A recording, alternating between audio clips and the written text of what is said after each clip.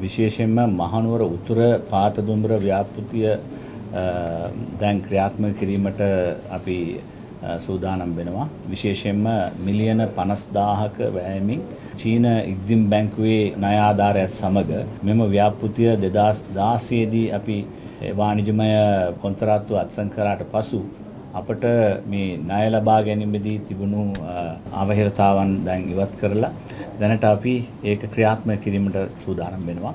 මේ ව්‍යාපෘතිය හරහා හාරිස්පත්තුව ඒ වගේම පාතදුම්බර යටිනුවර ගලගෙදර වැනි ආසන කීපයක ජනතාවගේ ජලහිඟ පිළිබඳ තිබුණු ගැටලු වලට විසඳුම් ලැබෙනවා. මේ රටේ ක්‍රියාත්මක වන ජල ව්‍යාපෘති වලින් විශාලතම ජල ව්‍යාපෘතියක් හැටියට මිලියන 50000ක් වැය කරමින් සිදුවෙන ව්‍යාපෘතියක් හැටියට මේක ප්‍රකට වෙනවා. ප්‍රතිසම්පාදන ක්‍රියාවලිය නිම කරලා තියෙන තව ව්‍යාපෘතියක් මේ අවුරුද්දේ සෙප්තැම්බර් මාසයට කලින් පටන් ගැනීමට අපි අදහස් කරනවා. විශේෂයෙන්ම කුණ්ඩසාල හාරගම ව්‍යාපෘතිය.